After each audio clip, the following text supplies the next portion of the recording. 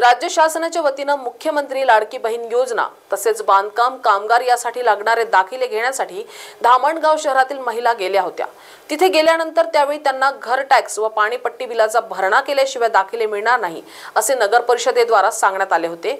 परंतु गरीब महिलांना हे दाखिले न मिळाल्यामुळे त्या महिला या योजनेपासून वंचित राहण्याची वेळ त्यांच्यावर होती. ही बाब शिवसेनेच्या लक्षात येताच शिवसेनेचे उपजिल्हा संघटक रणजित पाटेकर यांनी नगर परिषदेचे अधिकारी यांना धारेवर धरत दाखिले देण्यास भाग पाडले.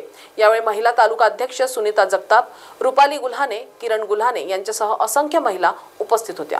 आज आपण नगर परिषद कार्यालयामध्ये महिलांच्या ज्या सरकारने जे योजना काढलेल्या आहेत जसं की मुख्यमंत्री लाडकी बहन योजना आणि तसेच बांधकाम कामगार तर या महिलांना नगर परिषदतर्फे रहिवासी दाखले आणि जे बांधकाम कामगाराकरिता जे नगर अभियंता यांची जे सही लागते ते नगर परिषद देण्यास टाळाटाळ करत होते.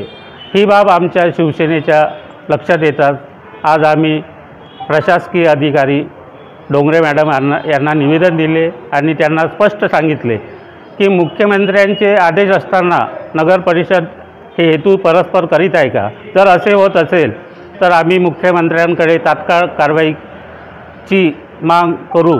असे त्यांना आम्ही लक्षात आणू दिले.